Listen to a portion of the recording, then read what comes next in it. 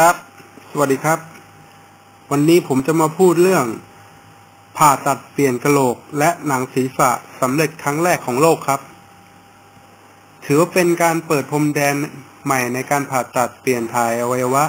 เมื่อแพทย์เท็กซัสประสบความสำเร็จในการผ่าตัดเปลี่ยนกระโหลกบางส่วนและหนังศีรษะเป็นครั้งแรกของโลก เพื่อรักษาคนที่มีแผลขนาดใหญ่ที่ศีรษะซึ่งเป็นผลจากการรักษาโรคมะเร็ง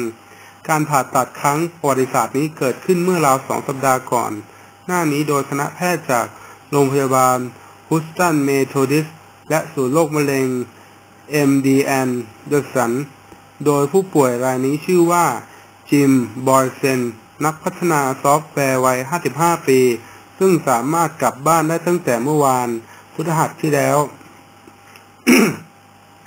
พร้อมกับไตและตับอ่อนใหม่ รวมถึง หนังศีรษะ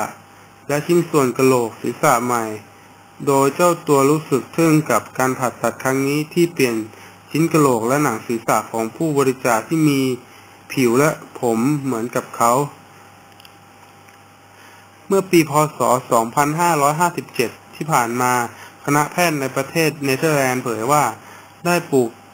ถ่ายชิ้นส่วนกระโหลกเกือบทั้งหมดให้กับคนไข้หญิงรายหนึ่งด้วยวิธี